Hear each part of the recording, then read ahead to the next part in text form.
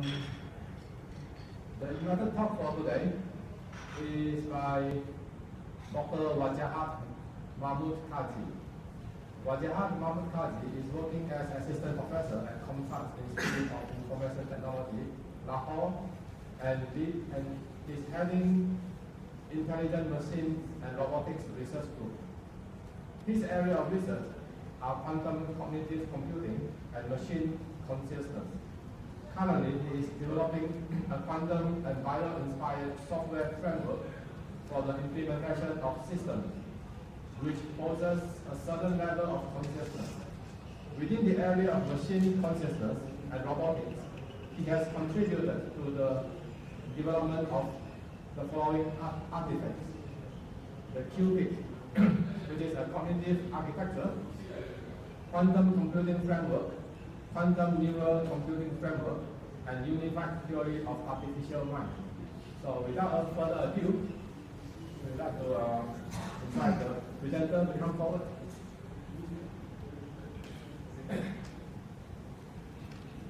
And the title of the talk is uh, NIHA, which is a nature-inspired humanoid cognitive computing platform for self-aware and conscious agents.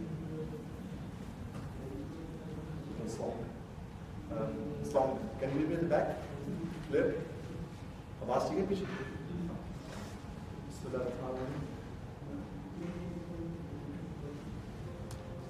So start uh, by talking about foreign. These verses from Holy and he created the species, all of them, and has made two of ships and animals, those which you found. Uh, the reason for selecting these verses from Holy Quran is that, uh, because Muslim, I believe that each and every uh, creation, even the machines, also belongs to Almighty Allah. So, first of all, I will just put a very simple question because uh, at the end of my talk, a few people might agree with me and most of them will not agree with me, so it's, I'm fine with it. So, first thing is that can a, mach a machine qualify the Turing test, which was proposed by Alan Turing? So, just in very short, will you agree or not? Can a machine qualify for interest or not? Yes or no?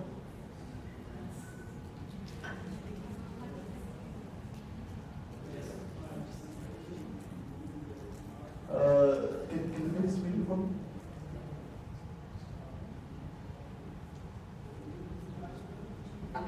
Uh, this is a, cutting from CNN News of last year.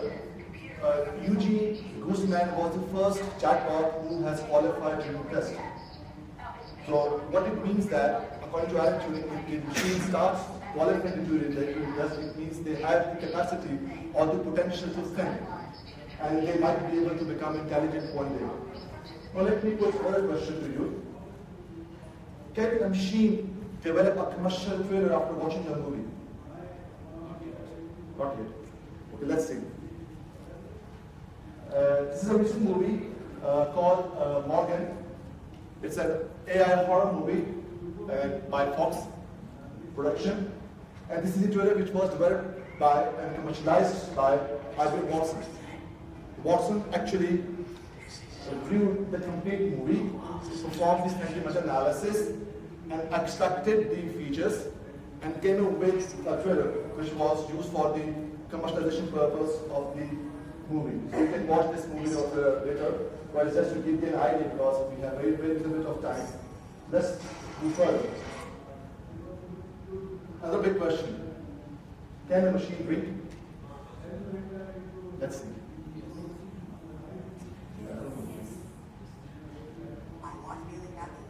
Uh, these are the snapshots from a prototype which was developed to simulate first level of dream because as a human being when we sleep we have five stages of sleep.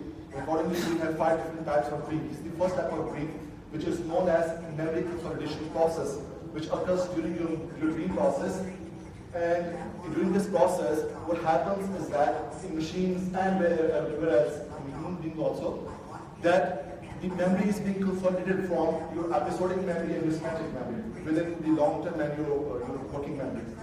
So we can move on. So next question. Okay, if these things are happening, so can we say that someday a machine might be have having some type of conscious and unconscious? Will they be self-aware of themselves right now I'm standing over here, I'm aware of myself with reference to you people, with reference to my own body image, my own body schema. So it's, it's, a, it's a bit, bit complex thing, yeah. But another thing is whether they will be having some kind of qualia, which is known as the quality of experience, the experiences of experiences. Uh, kind of experiences or perceptions without having sensory inputs of something. Uh, for example, if I say, okay, fine, I went to a lake and I saw these, these things over there, and my narration is very beautiful, and you might be having some kind of glimpse of that area after some discussion. And that is something which you have generated in your mind without having the direct sensory experiences. Now, let's see. If this thing is happening and machines are becoming more and more intelligent, then what about human beings? Are we also evolving? Right now, within, within the domain of artificial intelligence so making machines more and more intelligent, we have two roadmaps. First one is focusing on making machines more and more intelligent, and the other one is known as cybernetics, which is more uh, uh, inclined towards evolving human beings. Dr. Kevin Warwick from University of Reading is one of the pioneer researchers in making humans as cyborg humans, and he's one the first living human cyborg. In University of Reading, Dr. Kevin Warwick, Institute of Cybernetics. He has few, you know, microprocessors installed uh, within its nervous system, and he, he can easily, easily communicate with the, with, the, with the computers through USBs, and he has recently communicated with his wife from nervous system to nervous system. And these are the breakthroughs which are right now happening in the world. Sorry, yeah. So this is the roadmap which I was asking about. This is two, two tracks. One is for the machines, Second one is for the cybernetics. Eventually, according to Ray Kurzweil, who is one uh, who is the research director at Google, uh, according to him, by 2045 we'll be having a point where human beings and machines, the cyber, cyber humans and machines will combine together, not physical combination, but they will, they will collaborate with each other to develop some kind of new version of intelligence, which is known as singularity. So according to him, by 2029 we'll be having the kind of intelligence which is more powerful, and by 2025 the merger between humans and machines will eventually come up with a new kind of intellect, which is billion times more powerful than right now we have. Now it may seem to be a very, very you know, fictitious, but it's happening right now. For example, just imagine for a second that Google is no more. Internet went down. I need to my slides. I can't because my intellect is being shared by machines right now. And this, this has already started happening. So this is a complete roadmap from starting from 2015 to 2045 proposed by uh, Ray Kurzweil, Google, Microsoft, and all other big giants are following this road roadmap. I'll just give the idea how much they are following this roadmap. So I'm from, I'm, I'm, I'm so just to, you know, I'm from uh, COMSATS, my group is I'm robotics. The, the reason for choosing I'm robotics is that I'm once again represent the self-awareness for robotics. And uh, our goal or mission statement is to develop artificial general intelligence, not AI, because AI is something which is task dependent. But as human beings, we are not task dependent. We learn to learn and we learn to perform new tasks. Can we develop these kind of things in machines? And what will happen is if we are able to do it, the question is that can we humanize the technology? If this happens, if somehow this happens, it means they will be able to serve us better. They will be our better slaves, you know. Because if they know us better, what we need, what our needs are, what our wants are, they can provide us better and better services. So this, these are the two objectives. But the first one is to understand the, only the computational nature of the brain, right? Because there are so many other modalities which are associated with the brain. Right now, we are not interested in those things. We are just interested in the computational nature. So the topic uh, for this one is that that, that is the background. So it, it, will make sense that what really NiHA stands for, it's a nature inspired because nature contains all classical physics, quantum physics, the biology, and all other you know uh, projects to develop some kind of cognitive structures for the machine. Whether they will be able to have some kind of consciousness or not. I don't have a very discrete answer, yes or no, for this question right now, because the, work is still in progress. So as I already mentioned, there's a paradigm shift from AI to AGI. We are done with AI. AI is very good. It's doing very, very excellent job. We have task-dependent applications. Even your Siri is, by some definition, is an AI. You have Google. Google is once again, search engines are once again, to some definition of AI, might be intelligent. But the, but the paradigm shift is moving towards a bigger question that uh, just by training few models and doing some excellent and exciting things doesn't imply that machines are becoming intelligent. If GPU can win a chess game with the human champ, doesn't imply that machines are becoming intelligent? If we say that AlphaGo has recently qualified that Go game, it means that is it means that it's becoming intelligent. Having machines developing trailers implies that it is becoming intelligent. No, the answer is simply no, because intelligence is more more more complex thing. Even as human beings, we don't have that understanding of our own intelligence. What is intelligence is? If I ask this audience a simple question about how you are going to define intelligence, everybody is going to have one of their own versions of intelligence. But still we are trying to make machines intelligent. But one thing is for sure, that we all agree, is a kind of a metaphor where we think that intelligence, the brain, intelligence is some kind of music which is being played. And it's a composition of different notes. And each and every note is individually intelligent. And each note is, played, is being played by different orchestras. As you can see over here, maybe, I'm not sure how much you can see over there, we have so many kind of instruments in the brain. First one is having feelings, it's processing feelings.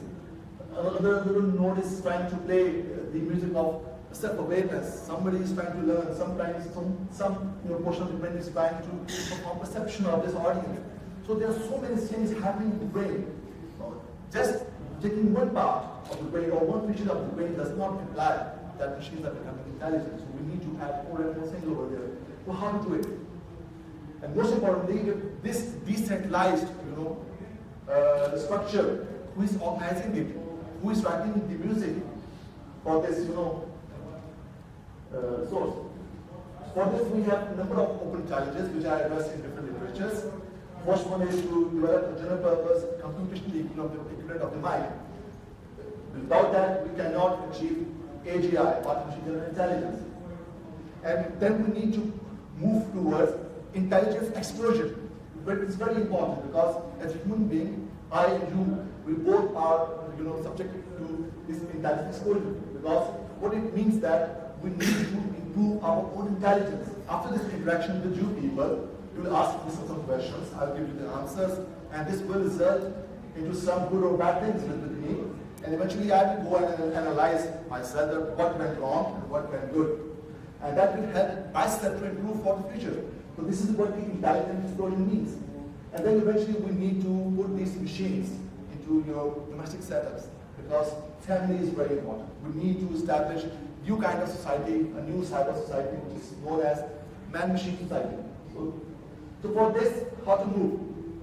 Well, we have three, sorry, four levels of consciousness. We can start with the simplest version, where all kind of unconscious modalities can be modeled into machine because unconscious is very complex, but one thing is good about unconscious is that it's hardwired.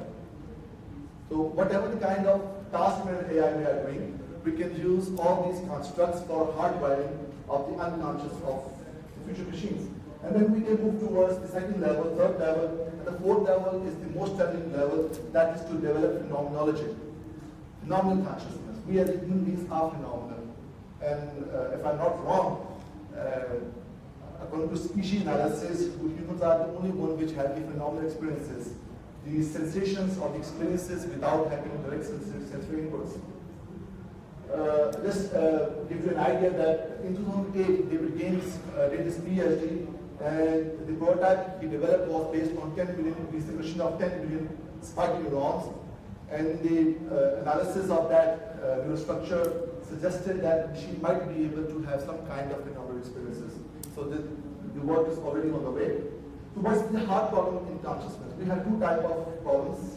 We have easy problem of consciousness, which is not easy from the computational aspect also. And the other one is the hard problem even for the inside also.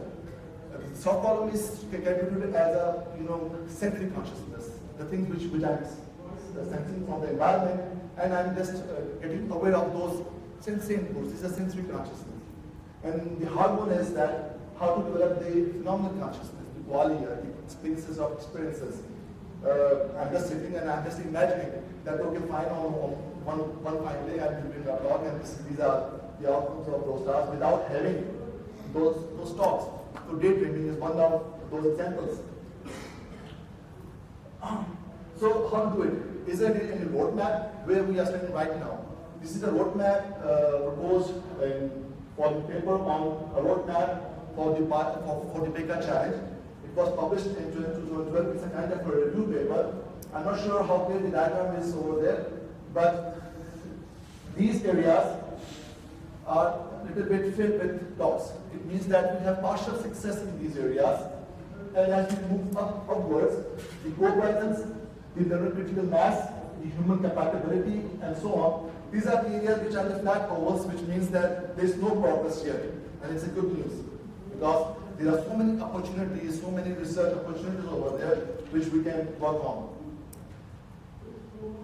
we have uh, other international projects which are trying to develop artificial brains and escaping because time is short. And it's another review from 2016 research paper, a review of 40 years of cognitive architecture. They started from 1970, so the research is not new. It has its roots back in 1997, sorry, 1970. Uh, initiatives which are from IBM Cognitive Computing, they are trying to develop actually the, the artificial neural processors uh, another group, cybernetic real-time brain integration. The Kevin Warwick, which I've mentioned, they are trying to use real life cells, life neurons from the rat, and they are placing those rat neurons into the brain, or you know, into, into, the processor, and the robot is driving and making decisions according to that uh, real neurons. So no programming, no uh, in silico based simulations of any kind of algorithms. So this was the project uh, called uh, for proposal from NSF uh, they are trying to establish some kind of human co or machine co-workers which can work side by side with the machines by 2019. So it's already in a way, and just to give the idea that in 2015, a Japanese movie was released, Sayonara, uh, in which she's a robot, and she played its own role. So if you go on the, on, on the internet, IMDb, so the internet movie website, try to search for J Gemini F, and you will see that uh, they referred it as she has she has worked in this movie, and she is a female god, Gemini. So machines are. This is another initiative. It's a Russian initiative which is following the singularity roadmap. Uh, this snapshot is from the official website 2045.com. And you can see they are trying by 2015 to 2020, uh, they are trying to develop some kind of human body. Later on, they were trying to develop human brain, sorry, artificial brain and implanting our Bro's brain into, the virtual uh, you know, avatars and so on and so forth. And this is not a roadmap from a university or from a researcher like me. It's an official roadmap initiated by Russian government. So take it serious. So what is the limitation of these studies? There are so many limitations. First of all, what we think is that we live in the universe, and the universe follows the law of quantum mechanics along with the law of classical mechanics. Our brain is made of similar material. So there might be some kind of entanglement, association, connection of the universe and the brain. So if something is happening in the cosmology, is going to affect our brain also. And this is what the quantum mechanics is all about. And living in this universe, it means that the, the my intellect or your intellect is not only the intellect which is isolated over here. We all are connected due to this quantum entanglement. So is there a possibility to study the quantum mechanical perspective of the brain and to harness the capacity, the power, the computational power of these regularities into the machines and to come up to the, with the idea of true parallel processing or the, the true parallel, you know, uh, kind of decision-making processes in the machines at the unconscious level because it's, it's proven that our unconscious is not classical. It follows the law of quantum mechanics. So our unconscious is entangled with each other. Once they, it's collapsed according to the you know, law of quantum mechanics, the conscious is generated. Consciousness is the outcome of the collapse of the, of the quantum mechanical wave function of our unconscious. And therefore, during this collapsing process, the concept of self, I, is generated. So let's see, where we are, we are in Pakistan. A big question. We started this, this project uh, five years back called NiHA. Because there are so many school of thoughts, we try to unify these school of thoughts into a kind of working philosophy, which we call as a unified view of mind. We need a body because consciousness is all, all about mind-body problem. And we need to have some kind of uh, an artificial mind, which is a cognitive structure. So this is our, uh, you know, uh, background of the philosophy. I'm just skipping towards the interesting part. So what this uh, unified theory of mind is, uh, uh, society of mind was proposed by Marvin Minsky, one of the pioneer researchers in artificial intelligence. We have these two theories from psychology. We have quantum cognition, already working. So many papers are published in quantum cognition. And from philosophy, we have cognitive dualism. Combining these things, and right now we are using these robotic platforms for our research. And moving further, this is our cognitive architecture which we are developing right now because time is too short. I have skip.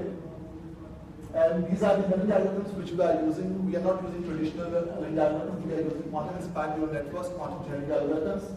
We have a healthcare core memory model which is inspired from cortical learning. It's not deep learning or that kind of thing. And how it really works. Uh, sure. So is this diagram. So many things are happening in the brain, and these are the cognitive memories. Consider that we have a number of demons like units, units like demons, cortex, and they are one cortex is referring towards the perception of this audience. Second cortex is trying to figure out that what kind of statement I have to say next. Second cortex is trying to assess uh, by, by, performance that whether I'm able to complete my job in time or not. So so many threads are running, and all those threads are trying to use my, my memory structures, and they are pulling information and pulling and placing back those information into the brain and trying to develop new perception for me and new, new decisions. So once this is happening, so we have different types of, you know, these, these kind of uh, nodes or sub-intelligent modules.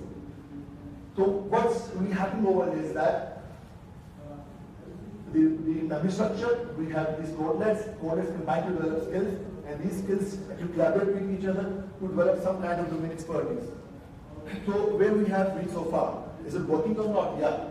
We have these kind of applications which we have developed. I'll just demonstrate one example to you. By the way, the Ring application which I have showed was developed by uh, my group at the MPhil level. Uh, this is the snapshot of our agent. And just to give the idea, this is another snapshot. Uh, so this is the demo which I'd like to share with you.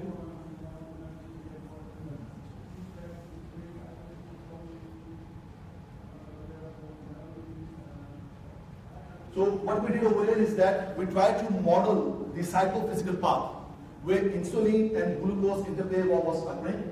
And due to this interplay, the sodium levels and all other biochemical levels are being shifted, and which has an impact on your emotions and your phys physiological phases. So due to which uh, the agent is right now is having a depression due to the first level, and is trying to find out where is the uh, liquid or the water which we can have and so on and so forth. And accordingly, the emotions are being modulated according to these biophysical structures. Why it is important? Because already we have a robot called Choo which takes sugar cubes. There is an artificial enzyme, enzymatic system over there, which uh, you know decomposes the sugar, sugar cubes and try to develop an electrical energy from the chemical energy. So it means if this thing is happening, then we need to come up with a new model where we can do this, similar, similar kind of thing within the machines where we can actually use these bio, uh, biochemical processes for the regulation of the agent.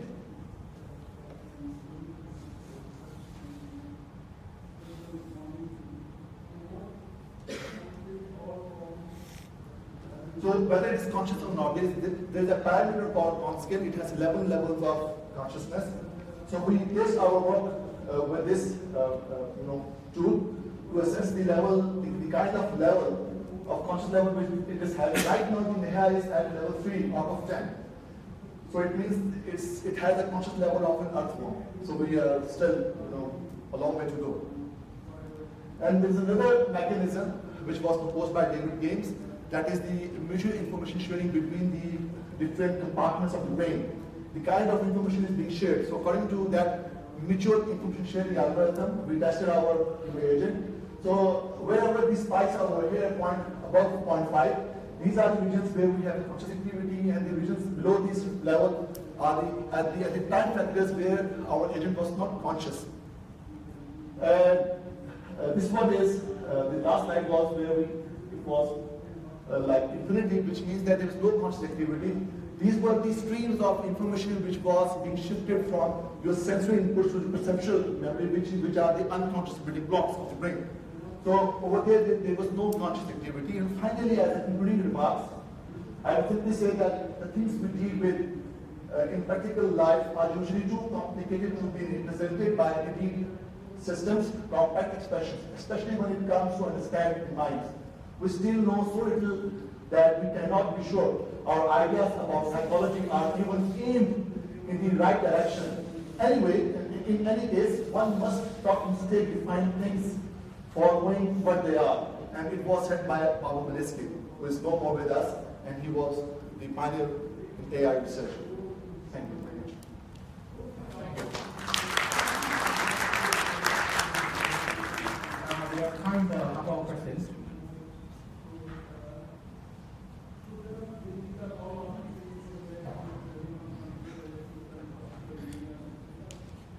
Yeah, sure.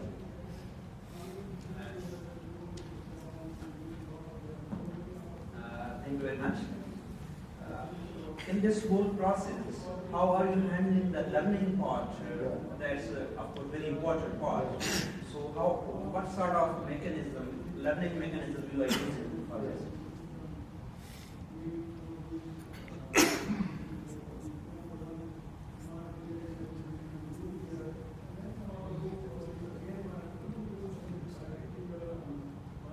Yeah. Right now we are using these type of algorithm. It's in, in the priority order because as uh, we are more interested in how the brain works. So this is our preference to first of all use quantum algorithms like quantum neural networks and quantum genetic algorithms because more you know towards the natural side. If uh, because due to uh, the complexity of these algorithms, you know, if we think that this is the kind of uh, information which cannot be learned in due time, then we can move for the cognitive learning algorithms, which is once again inspired from the neocortex. It's not deep learning, basically. It's a kind of numerical because our brain learns in hierarchy. We, see small things, we combine and we develop perception. And then we, we combine those perceptions and we make come with big, things. And, and so on and so forth. So it's a numerical type of learning model. And if this thing is something which we, we feel like, it's not going to work with us, so then we always have those classical neural networks and specific area. In the DIN application, which I've showed you in the start of my presentation, was totally based on uh, quantum neural networks and quantum genetic algorithms. And the application which I demonstrated, which was based on that uh, bio- biochemical processes of engineering glucose, we were using simple, simple backpropagation over there, along with some, you know, uh, computational or statistical algorithms for the modeling of those microstructures. Thank you very much. Uh, because of time, I think we to stop here, and I'm going to give a question.